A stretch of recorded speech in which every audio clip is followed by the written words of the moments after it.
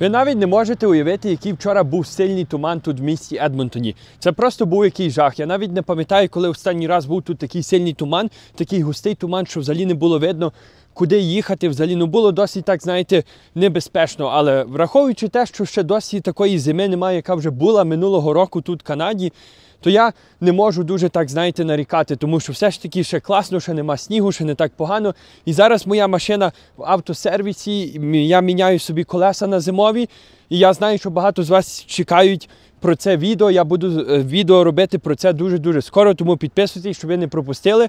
І також я буду робити дуже багато ще цікавих інформативних відео про бізнес про свою освіту і також про те, як шукати роботу в Канаді, як можна до лікаря піти дуже скоро і дуже класно. Тому підписуйтесь, ставте мені вподобайки, бо я працюю над канадським таким класним е, корисним контентом для вас, дорогі мої друзі. Перед тим як ми почнемо, хочу нагадати, що партнером сьогоднішнього випуску є BCU Financial або кредитна спілка Будушність.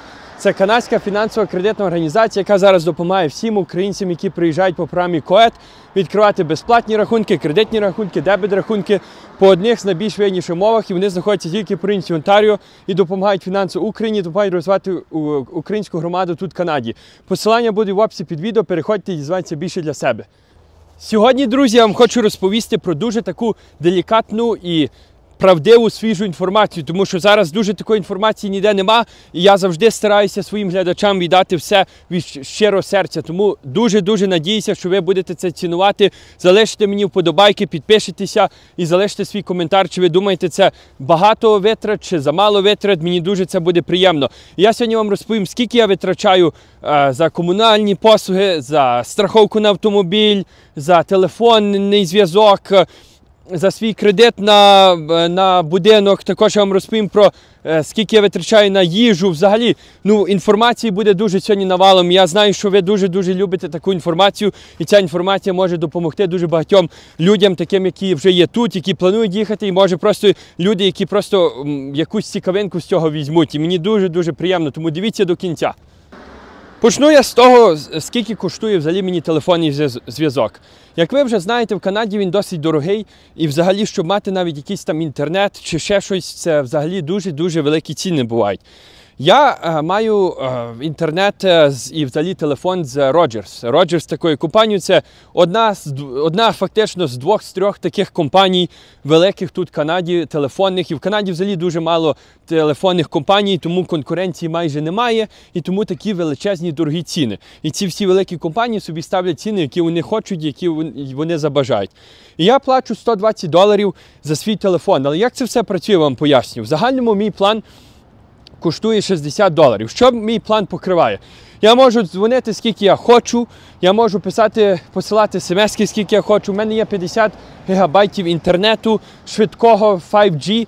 Тобто, в принципі, мені це дуже класно дозволяє. І навіть якщо я їду, наприклад, в Сполучені Штати Америки, все, що мені коштує, це 15 доларів е, активувати е, таку опцію. Я можу користуватися своїм планом в Америці цілий день і використовувати все, як я би використовував тут в Канаді. Але звісно, мені треба буде за це платити додаткових 15 доларів в день. Тобто, в принципі, мій план не є поганий, враховуючи те, що я. е, Дуже багато всього роблю, знаєте, для, е, для Ютубу. Мені дуже потрібен телефон, мені потрібен інтернет, бо я на телефоні монтую, я на телефоні знімаю і так далі. А інші 60 доларів це є вже ніби як позика за мій телефон, тому що я ніколи не купую телефони, знаєте, зразу, тому що це не має сенсу. Телефон буквально за рік, за два він вже втрачає свою вартість так конкретно.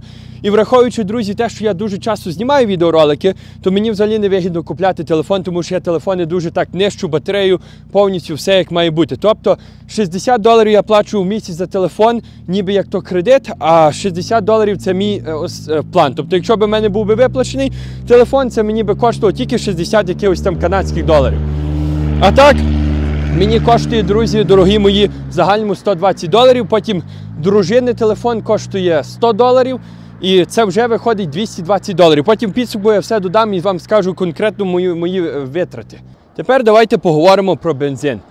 Як ви вже всі знаєте, у мене є pickup truck. Тобто мій pickup truck він не є дуже такий економний, в загальному будемо говорити.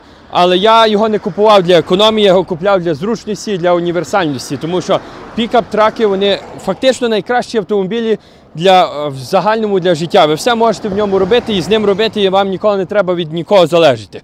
Я плачу 100 доларів в тиждень, грубо говорячи, за повний бак бензину мені вистачає на тиждень 100 доларів. Тобто 400 доларів я плачу в місяць тільки за бензин тепер. Це вже скільки є разом? Це вже є 620 доларів разом з телефонами. Я вже витрачаю в місяць е, на такі-то витрати. Тепер вас напевно цікавить, скільки я ж витрачаю в загальному на комунальні послуги, наприклад, скільки там на електрику і на воду. Переважно електрика і вода покриваються е, одним і тим самим, як то кажуть, е, компанією. Тобто я плачу переважно за воду і за електрику, і в мене хата має 190, грубо говорячи, 190-195 квадратних метра. І, і е, якщо враховуючи всі поверхи, то в принципі я плачу е, біля 250 доларів за воду і за електроенергію в місяць. Принципі, ще не так і дуже погано, але деколи може бути трошки більше, деколи може бути менше, то залежить, який місяць, скільки коштує електроенергія і так далі. Також тепер вас цікавить, напевно, за газ. Переважно літом, знаєте, коли я не використовую, звісно, обігрівач і опалення в хаті, то це мені може виходити біля 60 до 100 доларів, стала така ціна. А так зимою в холодні такі місяці може виходити від 200, десь до 250 доларів. Тобто, грубо говорячи, між 100 до 250 доларів за газ я плачу. І це теж все, знаєте, додається. Тепер давайте поговоримо про продукти, бо продукти взагалі зараз дуже подорожало, все дуже дорого. І більш-менш я стараюся, як вам сказати, я стараюся економити, але з другого боку я собі не відмовляю ні в якій такій дуже е, конкретній їжі. Я їм те, що мені подобається їсти, і фактично 500 доларів, так грубо говорячи, легко в місяць повністю йде на їжу. Тобто деколи може бути 600, деколи може бути 450. Але будемо так говорити з вами відвертими, чесними, 500 доларів виходить е, в місяць е, на продукти. Потім, тепер вас, напевно, цікавить, багато з вас, звісно, на початку будуть орендувати житло. І оренда житла взагалі в Канаді дуже підросла, так само, як і відсоток на іпотеку підріс. Також в загальному всі ціни просто підросли. Скільки я плачу, бо в мене є свій власний будинок, і я його, звісно, взяв кредит. І я в цього зовсім не скриваю. Більшості всіх людей в Канаді, дуже багато людей, 60% людей е, мають сіхати в кредит тут, в Канаді, грубо говорячи. Я ще досить молодий, і в моєму віці переважно люди навіть не мають ще таких е, своїх персональних власних будинків. Досить часто є ситуації, але не часто. Ну, Будемо говорити з вами відвертими. 1800 доларів я плачу за хату. Тобто, можна сказати, для вас би це була оренда, для мене це є сплачування моєї іпотеки, і е, ніби як. Тобто ще не так і погано, друзі, враховуючи, що я фактично живу в своєму власному будинку. Також я забув додати, що я ще е, плачу за property tax. Що таке property tax? Property tax фактично оплачує кожен власник якоїсь квартири, чи будинку, чи таунгаузу тут в Канаді. Тобто, фактично, люди є власниками землі, але вони і не є власниками землі, бо вони повинні платити податок за те, що вони користуються цією землею. І на на мій будинок е, цей податок становить е, біля 4 тисячі доларів, грубо говорячи, з копійкою на рік. І я плачу помісячно це, і мені виходить 345 доларів в місяць е, property tax. І також ще треба враховувати страховку на автомобіль. Страховка автомобіль мені буде коштувати 150 доларів. От, друзі, так воно все додається до одної і тої ж суми.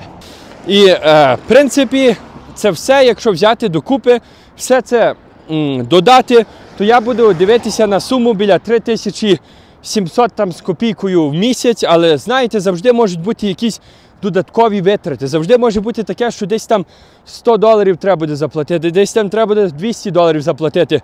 І я так грубо відверто вам скажу, що 4 тисячі чистими я витрачаю в місяць, щоб тільки прожити, щоб тільки, знаєте, існувати. А тепер порахуйте, що може бути завжди якась додаткова е, витрати, наприклад, якісь там е, витрати на автомобіль, е, на обслуговування. Можливо, треба якісь, отак як мені зараз колеса треба купити. Чи можливо треба щось там комусь піти, щось на день народження занести, чи можливо когось запросити в гості, треба щось приготувати, накрити стіл. Тобто завжди є така кудись баферна зона, і більш-менш для прекрасного такого життя в Канаді на даний момент треба заробляти принаймні, я вам чесно скажу, принаймні 7 тисяч на сім'ю. Принаймні.